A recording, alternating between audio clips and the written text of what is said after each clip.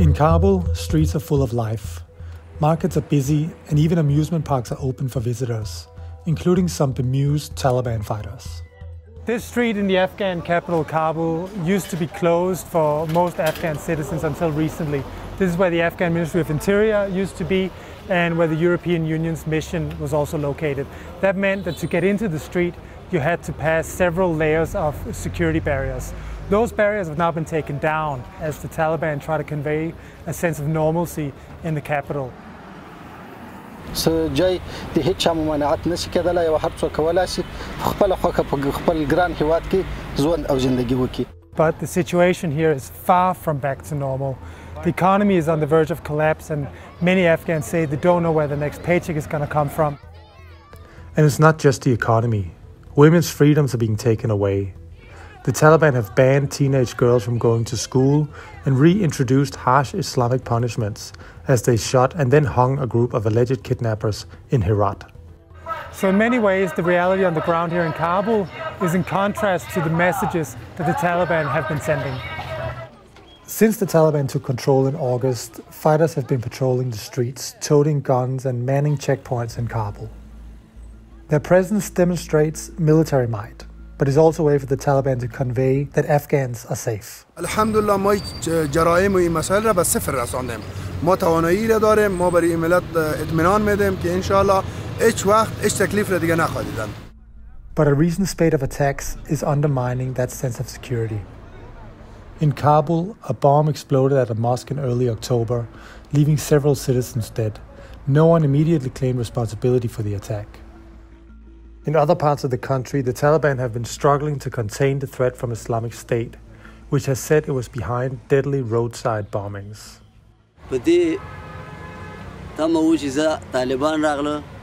سوله براشي امن براشي نه سوله شته ده نه امن شته ده بغیر د بمونو نه بغیر د د بد خبر نه بل وانه وري both the Taliban and Islamic State want to impose strict Islamic rule on Afghanistan, but have deep religious and political differences.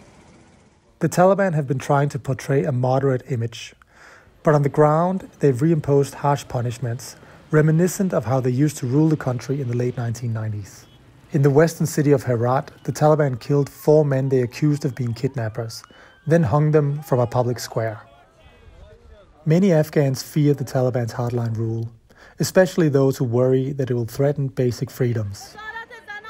حقوق یک زن پامال میکنن ما میخواهیم مکاتب دخترانه دوباره باز شود اساتید زن به وظیفه خود برای تمام کارمندا Women in particular have borne the brunt of these new regulations.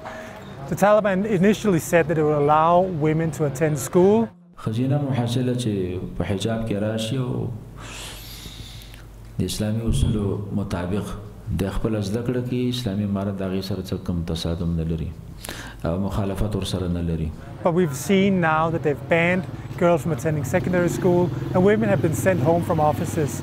In many provinces of the country, women are no longer allowed to leave the house without a male relative uh, escorting them around the streets.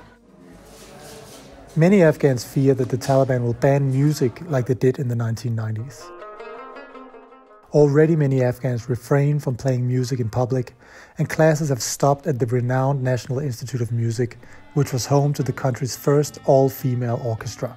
او نه د دې سره کوم علاقه لرو د دې غوول سره چې مونږ وګورو او نه معلومات ماته کیږي چې دا چې شوی دا کوم شی کوم شی دی هیڅ معلومات ماته نه کیږي چې دا ولې شي As they work out how to govern, the Taliban have been seeking to woo the international community and win diplomatic recognition. However, most countries have stopped short of officially recognizing the Taliban's government and have suspended aid. After the Taliban took control, the US, the IMF, and other countries also froze Afghanistan's foreign currency reserves, which the country is heavily reliant on. And that's had a huge effect on the economy. There's a lack of cash, and banks have put a strict limit on how much money people can withdraw. That means Afghans don't have enough money to buy the food that they used to, and they don't have enough money to basically keep the economy going. Before the Taliban came to power, nearly half the population lived in poverty. But it was rare to see scenes like this of Afghans struggling to find food or queuing up outside ATMs to withdraw cash. The UN has warned of growing starvation and pledged 1.2 billion in emergency aid.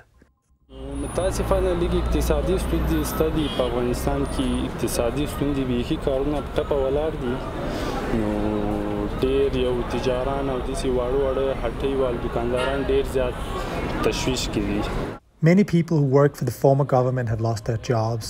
Unemployment is soaring, and at the same time, prices of food and fuel are rising. And Afghans are worried that the coming winter is going to be a struggle.